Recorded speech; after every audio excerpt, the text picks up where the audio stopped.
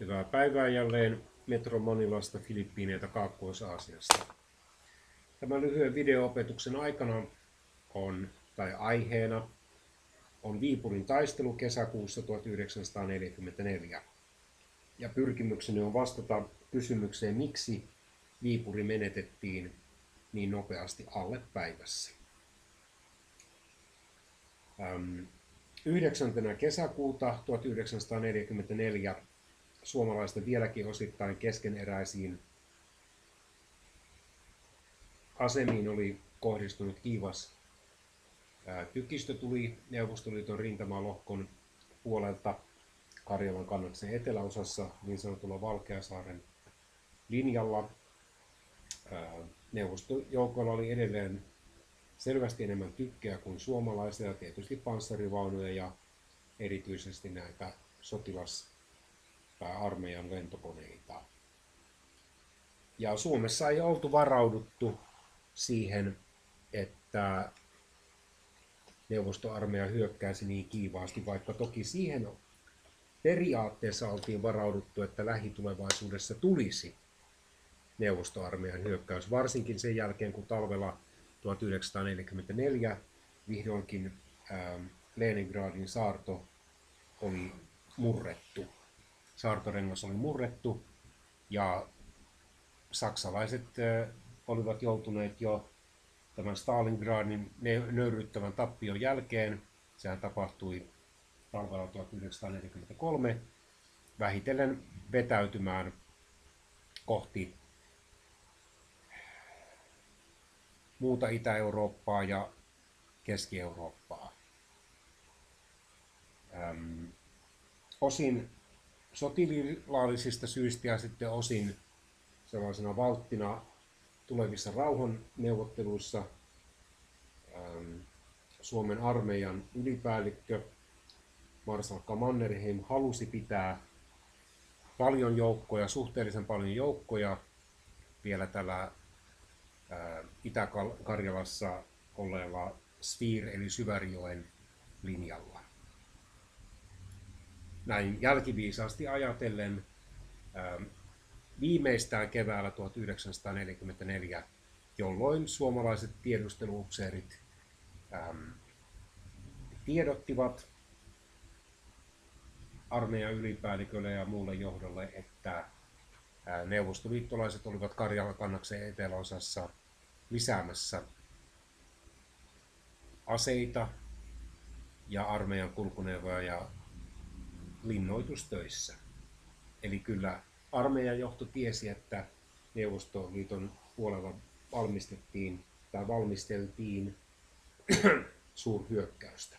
Ja viimeistään silloin olisi hälytyskelloin pitänyt soida, kun kuudentena kesäkuuta 1944 sitten ähm,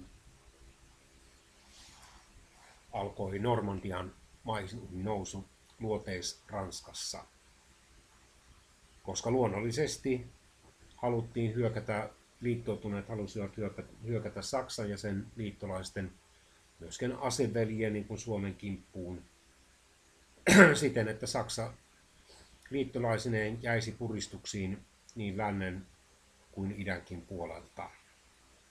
No, joka tapauksessa jo kymmenentenä kesäkuuta 1944 tämä strategisesti hyväksi kehuttu Valkeasaaren linja Karjalan kannaksen etuosassa murtui.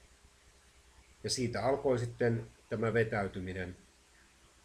Osa Suomen armeijan sotilaista joutui sellaisen tappion mielialan valtaan, että he karkasivat, vaikka he tiesivät sitten, että jos heidät saataisiin kiinni, niin heidät tulisi luovuttaa sota-oikeudella ja pahimmassa tapauksessa heidät voitaisiin jopa ampua sotakarkuruudesta. Ja jotkut menettivät sitten hermonsa ja valitettavan suuri osa menetti sitten henkensä tai ruumiillisen terveytensä. 14. kesäkuuta yritettiin Kuuterselässä vastahyökkäystä, mutta se epäonnistui surkeasti ja sillä seurauksella, että jouduttiin taas perääntymään. Kivennavan kunnasta sijainneesta Siiramäestäkin piti luovuttua 16. kesäkuuta 1944. Ja 18. kesäkuuta vihdoinkin viimein alettiin evakuoida Viipuria. Ja kaikki siviiliasukkaat, paitsi ne, joiden piti olla väestönsuojelu- tai lääkintätehtävissä tai muuten välttämättömissä tehtävissä, poistuvat kaupungista 19. kesäkuuta mennessä. Todella tuhoisaa Viipurin suomalaisille puolustajille oli se, että heillä ei ollut yhtään lentokoneita käytettävissään. Ylivoima oli arviolta kahdeksankertainen, koska vain noin 5000 miestä oli siinä pataljoonassa, jota komensi Armas Kemppi, kun taas arviolta 40 000 neuvostosotilasta oli niissä joukoissa, joita komensivat Dmitri Gusev ja A.I. Tserepanov.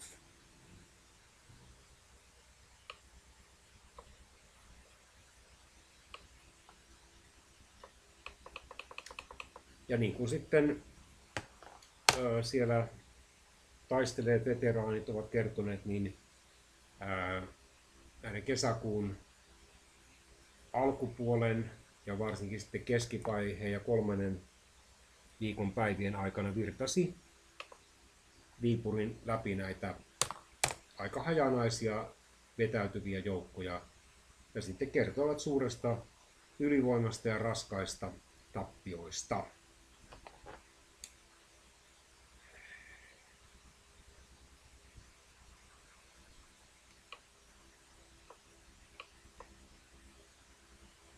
Viipuri oli suomalaisille tärkeä, se oli ollut ennen toista maailmansotaa joko, Viipu, äh, joko Suomen toiseksi tai neljänneksi suurin kaupunki. Ilmeisesti riippuu siitä, että laskettiinko pelkästään äm, kaupungin väestö vai myöskin esikaupunkialueita mukaan. Ja sitä perinteisenä, perinteisesti pidettiin Karjalan ja koko itäisen Suomen pääkaupunkina. Se oli merkittävä maantie- ja rautatieliikenteen solmukohta ja myöskin Itä- ja Kaakkois-Suomen kaupan keskus. Se oli Suomen suurin varuskuntakaupunki ja sitä paitsi siellä oli useita kuuluisia kouluja ja sitten oli kuuluisia kulttuurijärjestöjä, joista esimerkiksi Viipurin lauluveikot edelleen jatkaa toimintaansa.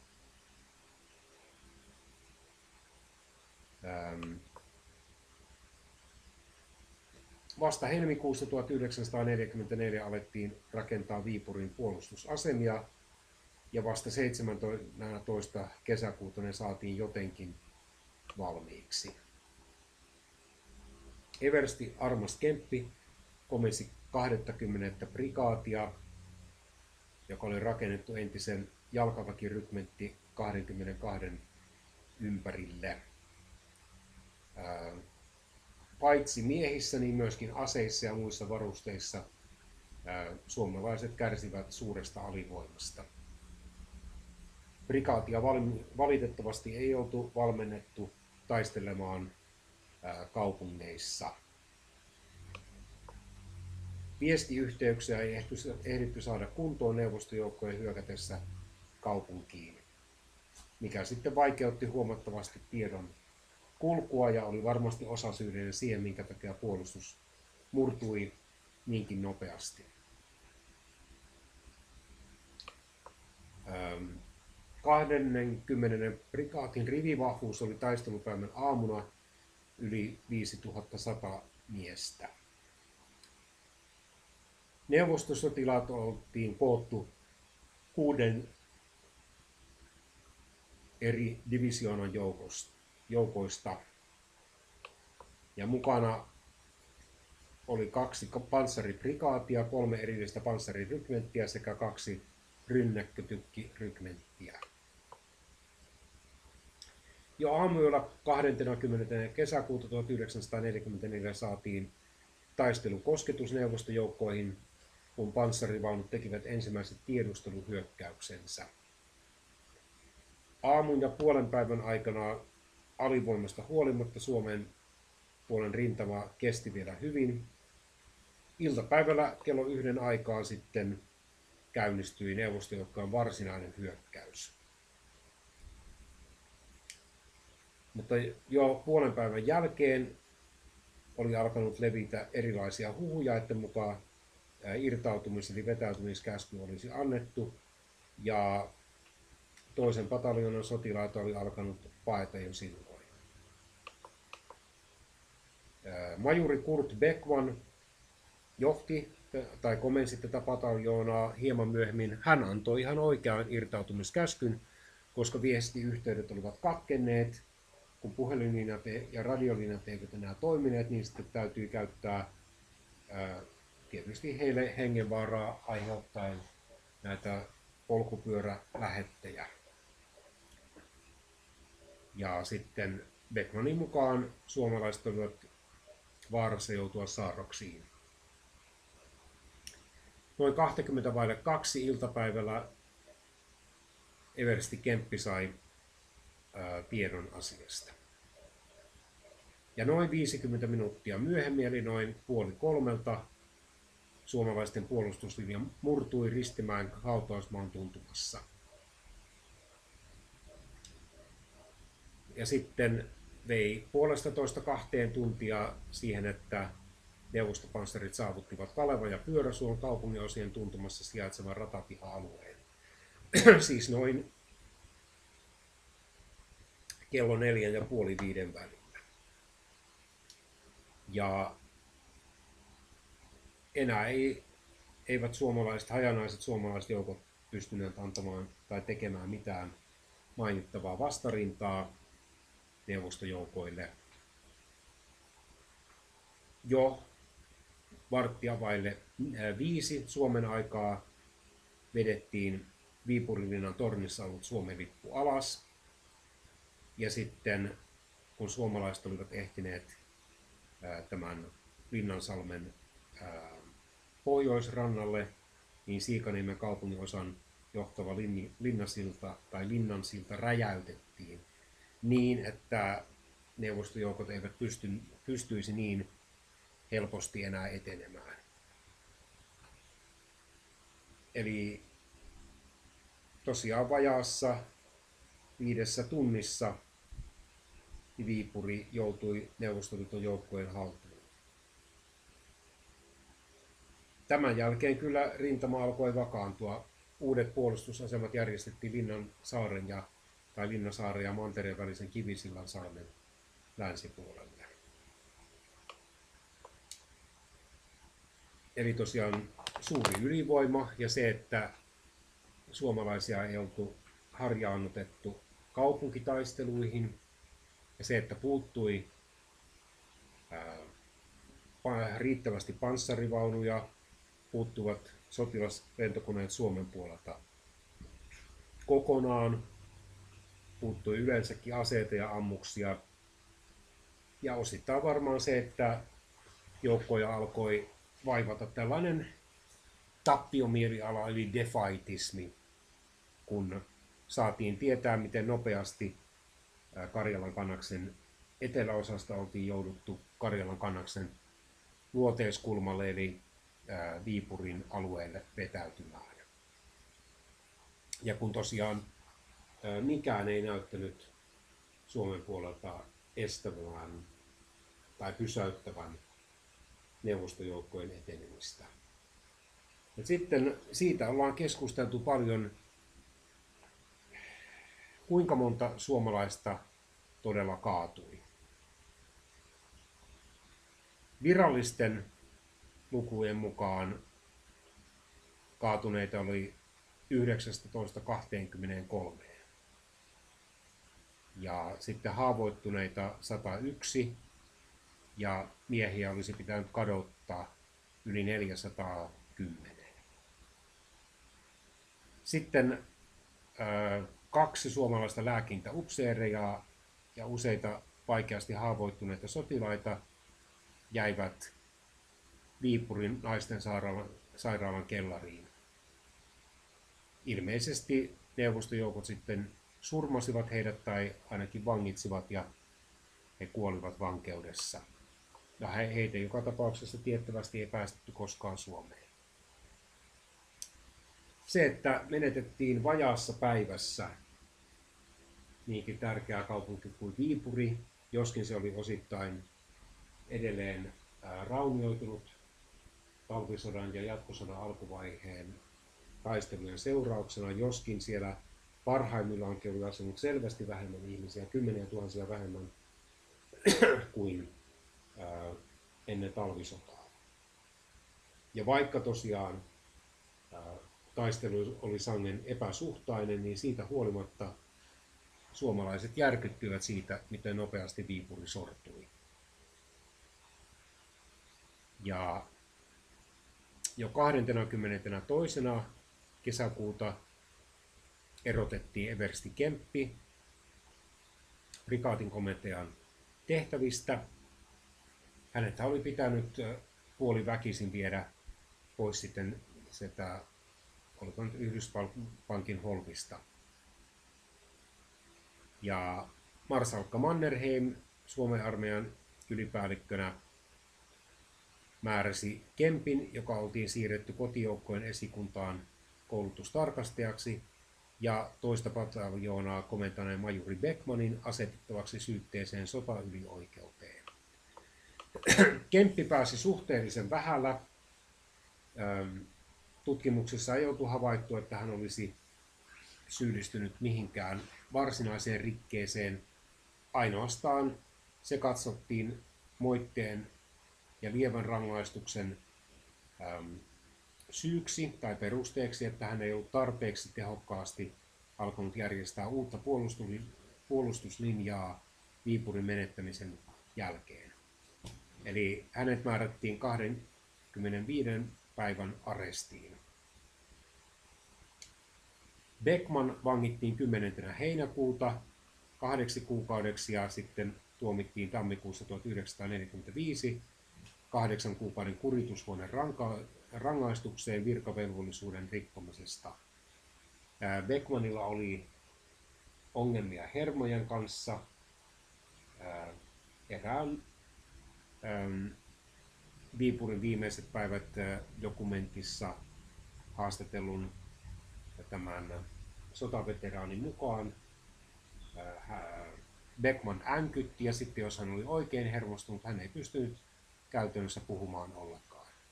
Sitä paitsi hän, niin kuin valitettavan monet muutkin sotilaat ja upseerit kärsi alkoholiongelmasta. Hän ei kestänyt sitten henkisesti tätä tuomion aiheuttamaa häpeää, vaan ampui itsensä vajaata viikkoa myöhemmin. Sotahistorian harrastaja Eeva Tammi esitti vuonna 2007 ilmestyneessä kirjassa Viipuri 1944 rohkean väitteen, että Viipuria ei ollut tarkoituskaan puolustaa. Ähm. Ja hän väitti, että kolme korkea-arvoista upseeria halusi luopua Viipurista ilman taistelua. Kenraali Erik Heinrichs, sitten kenraalimajori Axel Airo ja Eversti Valonihtilä joiden mukaan kaupunki oli väärällä puolella Viipurin lahtea eikä sen puolustamisesta olisi mitään hyötyä. Mannerheimin he salasivat suunnitelman, koska Mannerheim olisi hylännyt sen. Ja Tammen mukaan ää, Erkki Laatikainen, joka oli tuolloin 15-vuotias ja joka oli kenraali Taavetti Laatikaisen poika, oli ää, kuullut tästä suunnitelmasta pitäviä todisteita ei ole Tamen tulkinnoille, mutta professori Ohto Manninen ja Suomen sotahistoriallisen seuran jäsenet kuitenkin hyväksyivät tämä, tämän kirjoituksen. no sitten vuonna, oliko se 1989 tai 1990 julkaistussa Suomi taisteli kirjassa ää, annettiin tällainen yleisluontoinen syy, että lähinnä arvovalta syistä puolustettiin Viipuria. Ja siinäkin sanottiin, että luonnolliset, tai siis puolustuslinjat asettuivat sitten Viipurin vesistön länsipuolelle sen jälkeen, kun Viipuri oltiin jouduttu lyhyen taistelun jälkeen luovuttamaan neuvostojoukoille. Ja se pitää ottaa huomioon, että vielä syyskuun alkupäivinä 1944, jolloin saatiin tämä tulitauko aikaan ensin Suomen puolen rintamalinjaa ja sitten Neuvostoliiton puolelle. Rintama kulki edelleen läheltä Viipuria. Että yksi rintamalinjan osa kulki Juustilan läpi Viipurin pohjoispuolella.